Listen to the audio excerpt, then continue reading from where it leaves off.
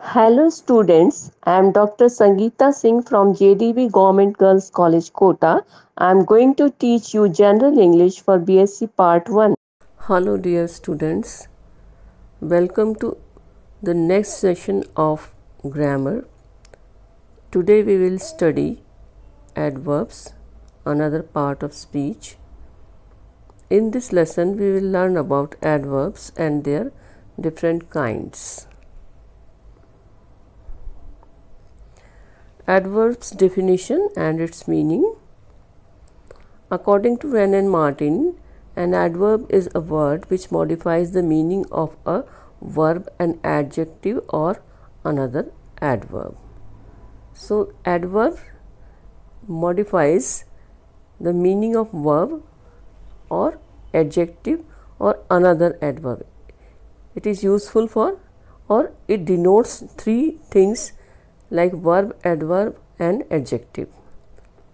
Now in Hindi adverb एक ऐसी चीज़ है ऐसा शब्द है जो कि किसी क्रिया का किसी विशेषण का या किसी क्रिया विशेषण को ही मॉडिफाई uh, करता है डिनोट करता है और विशेषित विशेष रूप से परिभाषित या विशेषित करता है in another words an adverb tells us more about the verb, adjective or another adjective by modifying it or adding some meaning to it.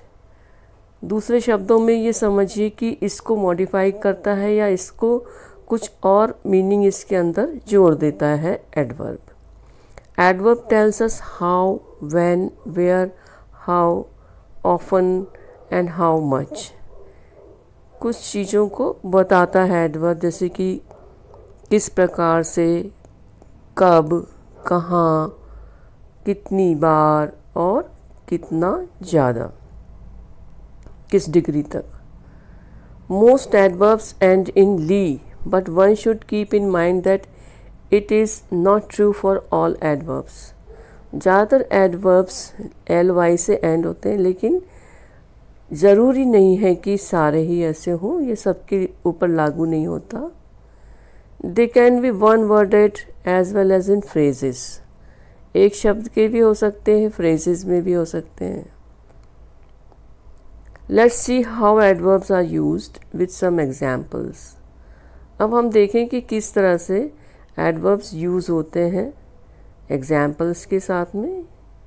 Sheetal eats quickly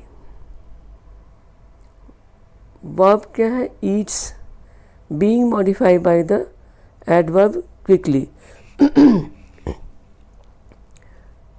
So, खाने की जो क्रिया है वर्ब है ईट उसको वो मॉडिफाई करके बता रहा है कि जल्दी खाती है या धीरे खाती है या चबा चबा कर खाती है चुविंगली कैसे भी तो यहाँ पर वो quickly the food is very delicious और जो भोजन है वो बहुत स्वादिष्ट है। तो यहाँ पर नाउन है फ़ूड और उसको वो बता रहा है वेरी डिलीशियस तो वेरी उसकी डिग्री को मॉडिफाई कर रहा है डिलीशियस की। फ़ूड को मॉडिफाई कर रहा है डेलीशियस और डेलीशियस को मॉडिफाई कर रहा है वेरी तो डेलीशियस यहाँ पर एडजेक्टिव है और उस एडजेक्टिव को वो या टेस्टी को वो मॉडिफाई करके वेरी बता रहा है आपको. सो इट्स एन एडजेक्टिव एक डिग्री बता रहा है आपको कि कम स्वादिष्ट है या ज़्यादा स्वादिष्ट है या सो सो है, इस तरह से वो आपको परिभाषित या मॉडिफाई करके बता रहा है। अंकित ड्राइव्स एक्सट्रीमली फास्ट और फास्ट तो कई लोग चलाते हैं, पर एक्सट्रीमली फास्ट बहुत ज़्यादा। Fast being modified by the adverb extremely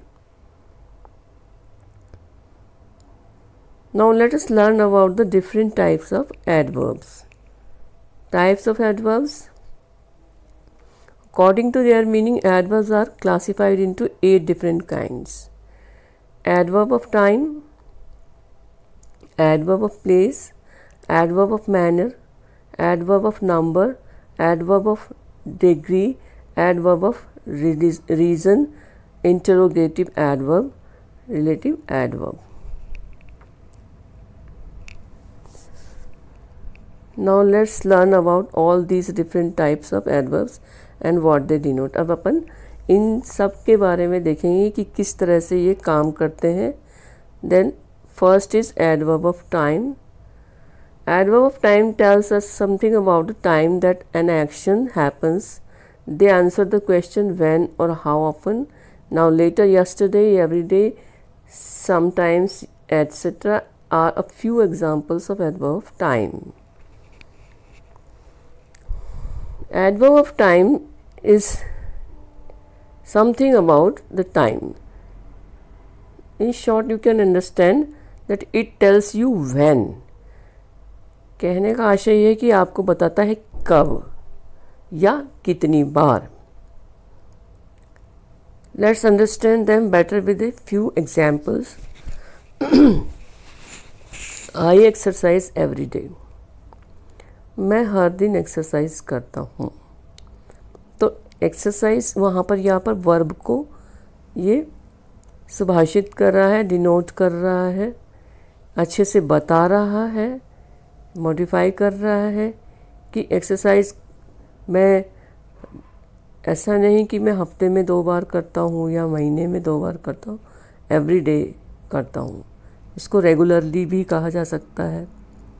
He goes there every now and then every now and then ये एक तरह से फ्रेज हो गया है तो कब कब जाता है? अक्सर जाता रहता है।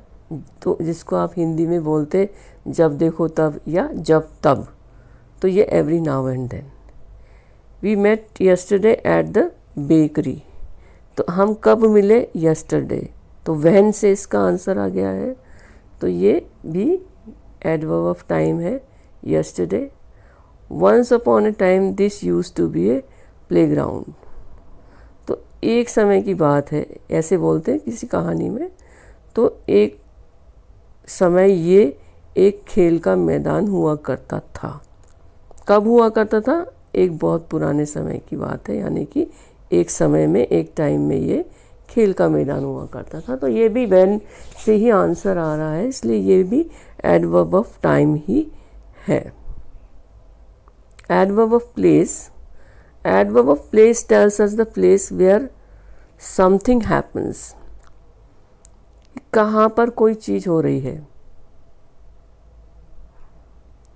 they answer the question where तो वो क्वेश्चन बताते हैं कब सॉरी कहाँ there everywhere up down on upon outside here above in etcetera all examples of adverb place let's take a look at some examples for better understanding किसी भी example से आप अच्छी तरीके से समझ सकते हैं किसी भी चीज़ को। तो हम देखते हैं keep the glass here glass को कहाँ रख दें? यहाँ here the mouse is inside the hole चूहा कहाँ है? Inside the hole Kishore is waiting outside she lives on the second floor कहाँ रहती है? सेकेंड फ्लोर पर. किशोर कहाँ है? बाहर है. So all these denote the situation which is answered by where where से जिसका आंसर आ रहा है? वो सारे के सारे ये सिचुएशंस है कि ऊपर, नीचे अप डाउन इनसाइड आउटसाइड ये सब बताते हैं प्लेस बताते हैं। Now next is adverb of manner adverb of manner tells us how something or in what manner something happens that they answer the question how. Slowly, loudly, quickly, fast, beautifully, neatly, subtly, quietly, quietly, etc. Some are some examples of adverb of manner.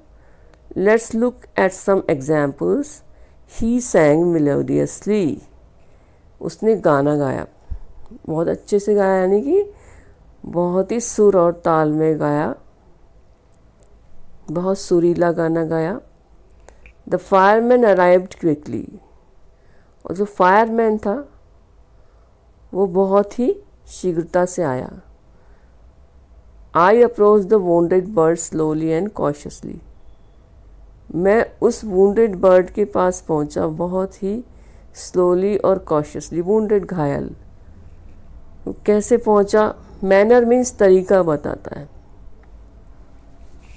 तो किस तरीके से? कैसे या किस तरीके से, किस प्रकार से तो उसने बहुत सुरीले प्रकार से गाना गाया, या जो फायरमैन थे वो बहुत शीघ्रता से आए।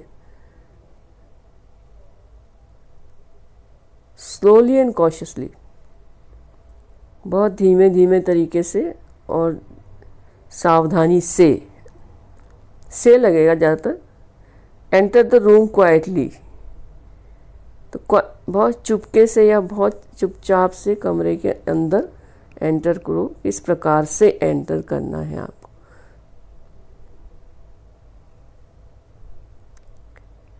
Adverb of number adverb of number show the number of action of the verb in a sentence firstly twice secondly often again once lastly etc are a few example of adverbs of number let's understand it better with a exam few examples i brush my teeth twice a day दिन में दो बार brush करता हूँ तो twice number बता रहा है आपको एक बार दो बार तीन बार अक्सर दोबारा से अंतिम बार से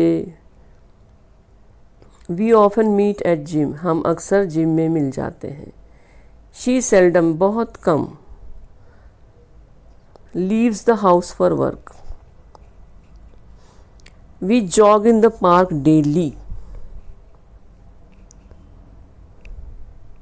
तो ये भी एक नंबर बता रहे हैं आपको।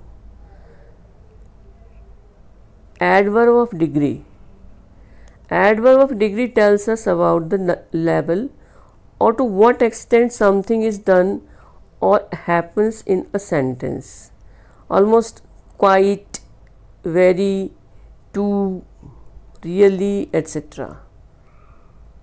Degree बताते हैं आपको मतलब it tells us about some situation or level or standard किसी स्तर तक की बात को आपको समझाते हैं किस स्तर तक उसका लेवल क्या है उसका स्टैंडर्ड क्या है उसका स्तर क्या है शी इज़ वेरी इंटेलिजेंट। तो इंटेलिजेंट एक शब्द आपका विशेषण हो गया और फिर उसको वो बता रहे हैं मॉडिफाई करके कि ज़्यादा इंटेलिजेंट है है ना? She he taught the class really well और वाकई में उसने अच्छा पढ़ाया really the track is extremely dangerous ये ट्रैक जो है रास्ता, ये बहुत ही ज़्यादा डेंजरस है एक्सट्रीमली बहुत ज़्यादा। तो वेरी से भी ज़्यादा हो गया वो। Means its degree is higher than very तो बहुत ज़्यादा हो गया। वेरी तो बहुत हुआ और एक्सट्रीमली बहुत ज़्यादा, और भी ज़्यादा। तो ये भी एक डिग्री शो कर रहा है, एक लेवल शो कर रहा है। आई एम ऑलमोस्ट देयर मैं लगभग आ ही चुका हूँ। वहाँ जा रहा हूँ, पहुँच चुका हूँ लगभग। तो ये भी एक डिग्री बता रहा है कि लगभग। Means he is near to reaching there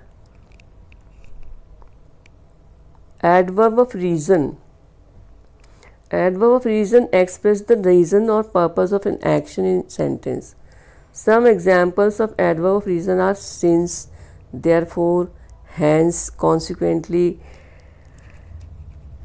because, so, thus etc some examples of adverb of reason. So adverb of reason आपको क्या बताते हैं? कोई पर्पस बताते हैं, उद्देश्य बताते हैं, या कोई कारण बताते हैं आपको, या उसका कोई परिणाम बताते हैं आपको तो वो क्या है? कैसे हैं? सिंस का मतलब चूँकि देयर फॉर माने इसलिए हैंस मतलब इस प्रकार से कॉन्सिक्वेंटली मीन्स परिणाम स्वरूप बिकॉज़ माने क्योंकि सो माने इसलिए दस माने इस प्रकार से तो some examples of adverb of reason I didn't go to the meeting because I was sick because italicise लिखा है मैंने इसीलिए कि मैं सिख था since she is didn't attend the class she hasn't been marked for attendance. कि उसने class को अटेंड नहीं किया था तो वो उसको अटेंडेंस मार्क नहीं की गई। I was late therefore I miss the flight therefore यहाँ बताया गया है कि इस कारण से इसलिए he miss the bus so he took the train bus miss हो गई तो उसने ट्रेन ले ली, इसलिए। So these four sentences are indicating a situation where reason is being explained कारण बता रहा है, जा रहा है आपको इसलिए ये एडवर्ब ऑफ़ रीज़न है।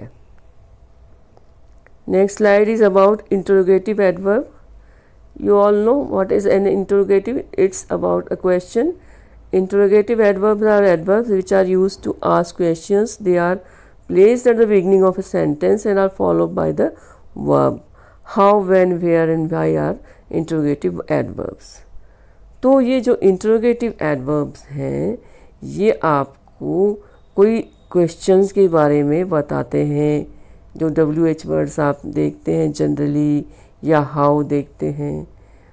Now there are few examples where is my notebook how are going home when will the movie start why is my room so messy तो ये सारे क्वेश्चंस वर्ड हैं जो कि एक इंट्रोगेटिव वर्ब के रूप में यहाँ पर एडवर्ब के रूप में आप यहाँ पर आए हैं आपके सामने। Relative adverb according to Wren and Martin relative adverbs are the adverb which refer back to around as their antecedent which sorry when where and why are relative adverbs unlike interrogative adverbs where the adverb is placed in the beginning of a sentence to ask a question relative adverbs are used to join two sentences together they modify some word as well as refer back to a prior used noun in a sentence let's take a, let's take a look at some examples to understand this better Wren and Martin के अनुसार एक relative adverb वो है जो कि refers back to a noun as an antecedent वो एक ऐसे शब्द हैं जो कि जोड़ते हैं दो सेंटेंसेस को। उसमें और रिलेटिव एडवर्ब में और इंट्रोगेटिव एडवर्ब में क्या फ़र्क है, वो भी डब्ल्यू एच से स्टार्ट होते हैं, लेकिन वो प्रश्न पूछते हैं और वो जो इंट्रोगेटिव एडवर्ब्स होते हैं वो सेंटेंस की शुरुआत में आते हैं। और रिलेटिव एडवर्ब्स जो हैं, वो दो सेंटेंसेस को जोड़ने का काम करते हैं और वो किसी वर्ड को मॉडिफाई करते हैं और किसी प्रायर यूज्ड नाउन को, पहले यूज़ किए गए नाउन को वो एक रेफरेंस देते हैं, उसके संदर्भ में होते हैं। अब उसको हम एग्ज़ाम्पल द्वारा समझेंगे। Was awestruck when I saw her तो मैं बहुत अचंभित था जब मैंने उसको देखा। This is the first place where we first met ये वो स्थान है जहाँ हम पहले मिले थे। Do you know why mom is angry at me क्या तुम्हें पता है कि क्यों मम्मी मेरे से नाराज़ हैं?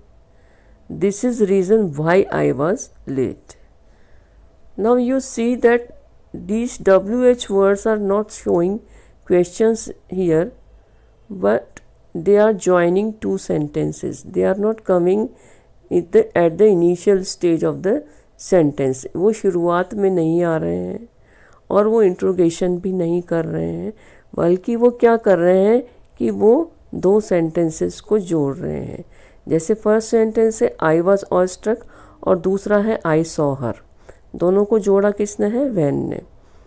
इसी तरह से this is the place second sentence में देखिए, पहला टुकड़ा दिस इज़ द प्लेस और आखिरी सेंटेंस वी फ़र्स्ट मेट तो यहाँ पर भी जोड़ रहा है। तो ज़्यादातर आप ये समझें कि पहले जहाँ पर ये वेयर कहाँ के लिए यूज़ होता था, वहाँ ये वेयर किसके लिए यूज़ हो रहा है? जहाँ पर। जहाँ पर वैन पहले कब के लिए यूज़ होता था? अब वो यूज़ हो रहा है जब के लिए। कि जब मैंने उसे देखा, जहाँ हम मिले थे। तो इस तरह से डिफरेंस है। दोनों डब्ल्यू एच वर्ड्स हैं, लेकिन because their position is different in the sentence and they are denoting some something else वो कुछ और बता रहे हैं। इसलिए वो इंट्रोगेटिव वर्ब से एडवर्ब से अलग है और वो रिलेट कर रहे हैं, दो सेंटेंसेस को जोड़ रहे हैं। इसलिए वो रिलेटिव एडवर्ब्स कहलाते हैं। Now the exercise portion of this lesson in the following sentences we find the find the adverb and determine its type so you have to find its type and the adverb. The baby sleeps peacefully. Peacefully is an adverb. शांति से सो रहा है। कैसे सो रहा है? शांति से। तो यहाँ पर ये वर्ब को मॉडिफाई कर रहा है, बता रहा है। और ये उसका तरीका बता रहा है कि किस तरह से सो रहा है, बेचैनी से नहीं सो रहा, है ना? वो कैसे सो रहा है? बहुत शांति से। I made a mistake once एक बार गलती हो गई तो ये number where is my gift where interrogative adverb interrogative adverb है। That picture was taken when I was seven year old कि वो पिक्चर तब ली गई थी जब मैं सात साल का था। I want my notebook now now adverb of time ये मेरी नोटबुक है। She dance is extremely graceful extremely adverb of degree he snores loudly loudly किस प्रकार से? तो ये मैनर का हो गया।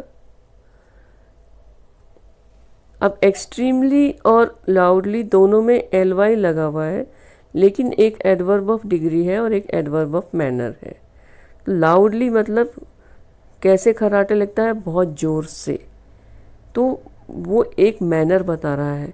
लेकिन ग्रेसफुल के आगे एक्सट्रीमली लगा हुआ है it means it is showing the standard or the level or the degree of her grace तो ये इसलिए एडवर्ब ऑफ़ डिग्री है। I talk to her daily time बताता है ये। Why are you running why interrogative adverb है? क्योंकि question पूछ रहा है इंट्रोगेशन कर रहा है क्वेश्चन पूछ रहा है। We won the championship thrice thrice तीन बार। तो यह एडवर्ब ऑफ़ नंबर हो गया, संख्यावाची हो गया, संख्या बता रहा है। Tell me why are you so covered in mud मुझे ये बताइए कि कारण कि आप इतने कीचड़ में लथपथ होके क्यों आए हैं? तो ये भाई मतलब कारण बता रहा है तो इसलिए दो सेंटेंसेस को वो जोड़ भी रहा है और वाई शुरू में नहीं आ रहा है, बीच में आ रहा है।